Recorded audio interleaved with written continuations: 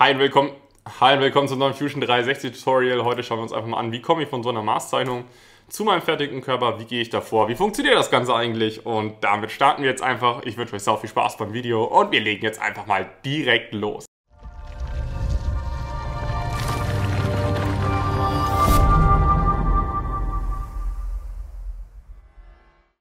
So, dann starten wir heute wieder los mit einer technischen Zeichnung. Das ist in diesem Fall diese hier. Und die wollen wir jetzt mal in Fusion 360 umwandeln. So, ja, das ist jetzt alles ein bisschen wild und verrückt, glaube ich, so auf den ersten Blick. Aber ihr hattet gestern, äh, hatte ich ja das Video gemacht gehabt, wo es um drei verschiedene Arten geht, in Fusion zu konstruieren. Und heute werden wir genau Anwendung von einer Art finden. Ne? Und das ist die Flächenart, die wir hierfür brauchen. Dafür wechseln wir als erstes mal hier oben in unser Flächenmenü rein und erstellen eine, ja, so eine Art Linie auf der Seite die dann sozusagen hier unser Profil abbildet hier unten. So, das ist das Erste. Diesen Zapfen hier oben, den ignorieren wir erstmal. Kann man erstmal ganz in Ruhe ignorieren. So, das heißt, als erstes gehen wir hin und machen hier unsere seitliche Ansicht davon. Das heißt, wir gehen hin und haben jetzt hier unsere Skizze erstellt und als erstes wissen wir, dass das Ganze, ähm, da schnappen wir jetzt meine Linie dafür, 65 hoch sein soll. Das weiß ich. Okay, und ich weiß, dass es 120 lang sein soll. Also wieder 11 Linie, hier entlang 120, Enter und dann passt das. So, und dann weiß ich auch, dass zwischen diesen beiden Linien ein Radius herrscht. Also gehe ich hier oben auf Abrunden, ne? Radius für Abrunden, ne? von 16 mm. Okay. Ich glaube, das war schon mal. Lass uns noch mal ganz kurz die Zeichnung anschauen. Ähm, ich sehe jetzt da nicht viel mehr, also Radius 16. Ähm, Dicke 4 interessiert uns erstmal nicht. 120er Länge und 65er Höhe, genau. Und jetzt müssen wir das auf eine Breite extrudieren, diese Fläche von 32 halt auf das breiteste Stück. Das heißt, wir gehen hin und sagen jetzt hier, Skizze fertigstellen, Extrusion und sagen jetzt einfach mal 32 und sagen Enter. Jetzt denkt ihr, ja Lars, äh, schön und gut, aber das hilft mir nicht wirklich weiter, was du da gemacht hast. Ja, noch nicht. Als nächstes erstellen wir eine Skizze auf diese untere Ebene hier. Das ist wichtig, dass es die untere Ebene ist. So. Diese Ebene beschreibt jetzt folgendes. Die beschreibt jetzt diese Zeichnung hier. Wir ignorieren wieder dieses Stück, was hier oben weggeht, kümmern wir uns später drum. Das heißt, wir beschreiben einmal hier die Breite von 16 mm, hier hinten die Breite von 32 mm und vielleicht können wir sogar noch die Löcher mit reinmachen. Okay. Das heißt, wir gehen hin und sagen einmal P für Projektion von diesen beiden Flächen und sagen, okay. Dann wissen wir, ist das hier mal meine Zeichnung hinschieben, dass ich ein bisschen gucken kann so nebenbei. So hier. Dann wissen wir, dass es 32 breit ist. Warum haben wir uns gekümmert? Jetzt bin ich auf der Suche nach einem Maß. Ich nehme euch mal mit, was ich hier gerade tue. Ich suche gerade das Maß, wie lange es von diesem Punkt bis hier hinten ist. Habe ich das irgendwo verpasst, das Maß? Ich weiß nicht, habe ich das verpasst? Ich weiß, dass meine Biegung hier ist 16 mm. Ich weiß, die beiden laufen mit 40 Grad zu. Und machen wir erstmal die Löcher, die sind einfach. machen wir erstmal die Löcher, 45er auseinander und zwei 16er Löcher. Also, als erstes machen wir 11 Linie und machen hier den Mittelpunkt die Linie entlang, markieren die Linie, drücken X. Das hilft uns einfach nur dementsprechend, dass wir eine Konstruktionslinie haben. Dann machen wir C für Kreis. Was war das? 216er, ne? Ja, 2x16. Okay, hier müssen wir kurz aufpassen. Ne? Machen wir C für Kreis und hier auch nochmal 16. Machen wir D für die Bemaßung, also für Dimension. Ne? Wir wissen, dass die beiden 45 auseinander sein sollen.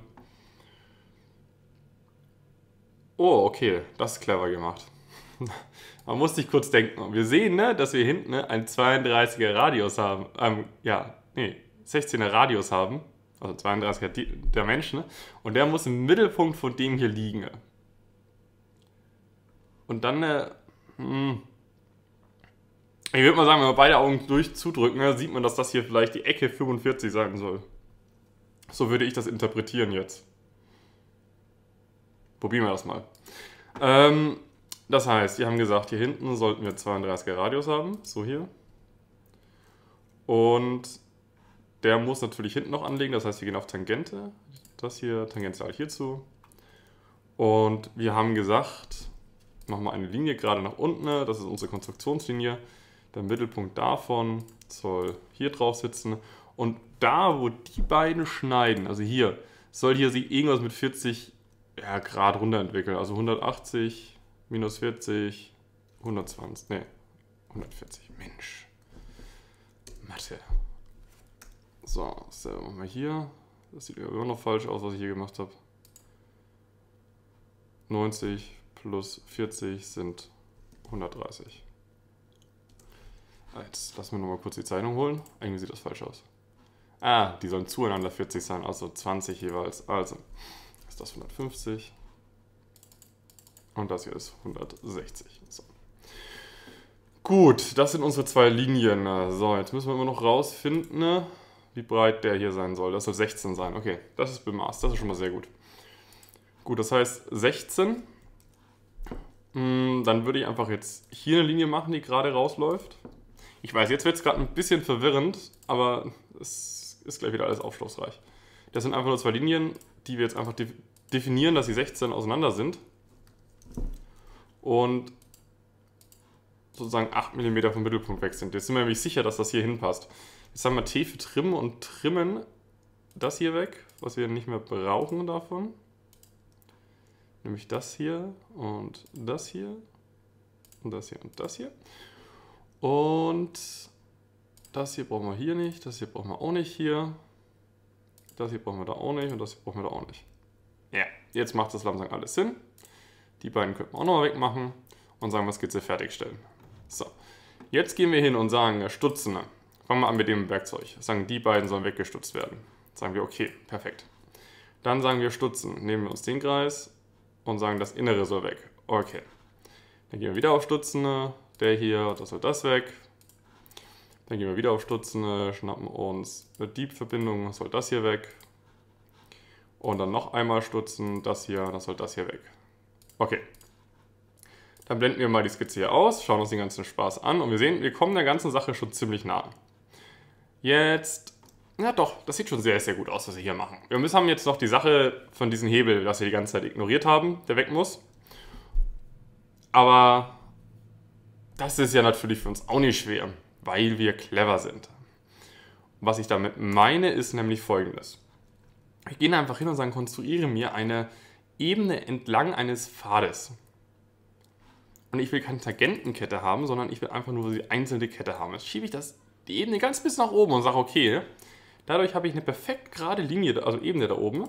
Sage ich Skizze erstellen, stelle meine Ebene da drauf und jetzt beschreibe ich eigentlich nur noch, was ich hier sehe. Das heißt, ich gehe 7 mm raus äh, und dann, äh, na, wie beschreibe ich das am blödsten? Ne? Übertrieben gesagt kann man ja sagen, wir haben irgendeine gerade Linie hier, irgendeine gerade Linie hier, die sollen 50 Grad zueinander stehen. Also das hier soll irgendwie so 50 Grad zueinander stehen. Und wir haben noch eine Biegung da drin. Und das machen wir jetzt einfach. So, das machen wir nämlich wie folgt. Wir haben also gesagt, irgendeine Linie so hier. Und wir haben irgendeine Linie, die hier so läuft. Und wir wissen, also über D für die Bemaßung, dass wir, ähm, jetzt brauchen wir nochmal eine Referenzlinie, da könnte man einfach mal P für die Projektion sagen, holen wir uns die Linie hier rein und sagen, okay. Dann sagen wir D für die Bemaßung zwischen den beiden Linien hier. Haben wir gesagt, die soll irgendwie 50 Grad zueinander stehen. Dann sage ich T für Trim, dann trimme ich die beiden weg. Dann gehe ich hin und schaue mir die Linie nochmal an. Die sagt, okay, Radius 10. Und da, wo der Radius 10 aufhört, will ich 7 mm Abstand haben. Okay, also Radius wissen wir wieder auf Abrunden. Hier hin. Radius sollte 10 mm sein und wir haben gesagt, da, wo der Radius aufhört, soll es 7 mm sein. Perfekt. Und da, wo der Radius anfängt, auf der anderen Seite, hier soll es 22 sein. Und wenn wir uns das jetzt mal anschauen, haben wir es damit einfach perfekt getroffen. Jetzt noch zwei Kleinigkeiten. Einmal wir brauchen dieses Achterloch da, kümmern wir uns gleich drum. Und es soll 15 mm breit sein, das Ganze. Okay. Und wir brauchen noch den 5er Radius. Ah, ein paar Kleinigkeiten mehr. Wir starten jetzt einfach durch und sagen Skizze fertigstellen und sagen jetzt einfach Extrusion hier davon 15 mm negativ hier runter und sagen okay. Dann gehen wir hin und sagen, verbinde mir die einfach erstmal, weil wollen die erstmal verbinden, ne? also der hier mit dem hier. Also überheften hier oben, sagen okay. Dann äh, lass uns mal schnell schauen, dass es ein Körper ist. Perfekt. Gehen wir hin und erstellen eine Skizze hier drauf. Da wissen wir nämlich folgende Sachen. Achte Loch in der Mitte, komplett rund außenrum. Und das achte soll auch so, ja, ziemlich gut drin sitzen, also so mittig. Dann sagen wir C für Kreis, holen uns einen Drei-Punkte-Kreis und sagen, okay, dieser Punkt soll irgendwas hier, hier und soll hier berühren. So. Das war jetzt nicht so ganz optimal. Ein bisschen kleiner. Ähm, gehen wir mal hin und sagen Tangente. Der Kreis soll tangential hier zu sein, der Kreis soll tangential hier zu sein und der Kreis soll tangential hier zu sein. So, jetzt passt's. Und noch ein Kreis hier drin mit 8 mm. So. Könnte man schon wieder sagen, Skizze fertigstellen. Dann gehen wir auf unser altbezwecktes Stutzenwerkzeug. Werkzeug ist das hier, der hier und der hier kann weg. Wir sagen okay. Holen uns nochmal das Stutzenwerkzeug. In diesem Fall ist der hier. Der hier kann. Ah, kann er weg? Ja, oder? Ja. Perfekt. Dann gehen wir auch hier hin und blenden unsere Skizze aus. Dann gehen wir hin und sagen abrunden. Hier gibt es irgendwas, das nennt sich auch bestimmt abrunden. Abrunden. Weiß nicht, ob ich jetzt den Punkt hier fangen kann. Na okay, machen wir später. Machen wir später das Abrunden. Das nächste, was wir uns anschauen wollten, das ganze Blechkörper-Klimbim hier ist 4 mm dick und wir brauchen noch die Abrundung von 5 mm. Okay. Das heißt, wir gehen jetzt hin und sagen einfach, erstelle mir eine Verdickung hiervon, genau die andere Richtung, also minus 4. Sagen okay. Sagen wir F für Abrundung und sagen hier nochmal 5 mm und damit ist das Bauteil fertig. Und das ist, lass uns mal kontrollieren, ob wir alles drin haben. Ja, das sieht gut aus. Also ich sehe jetzt nicht, was ich übersehen hätte. Außer finde ich, dass es hier abgerundet aussieht, weil sich hier zwei Flächen auftun. Ist es das? Das habe ich bemaßt. Also ist es das nicht. Ähm, ja, also ihr seht schon, das ist halt ein ganz cooler Weg sozusagen, um solche Sachen zu lösen. Ne? Einfach weil es nur halb so komplex ist. Also ich sag mal, man könnte es ja auch bestimmt irgendwie in einer Extrusion, also im normalen Volumenkörperbereich machen wäre fast ein bisschen aufwendiger. Man könnte es natürlich auch sehr schön. Oh, ich sehe gerade einen Fehler, oder? Seht ihr den auch? Das sieht irgendwie asymmetrisch aus. Ah, lass uns mal kurz hier reinspringen. Man könnte das natürlich auch sehr, sehr schön mit einem Blechkörper lösen, kommt mir gerade. Lass uns mal schnell den hier entfernen. Sagen wir D für die Bemaßung nochmal und sagen, ja, doch, das ist auch 20 Grad. Passt schon. Was sagt der hier zu dem hier?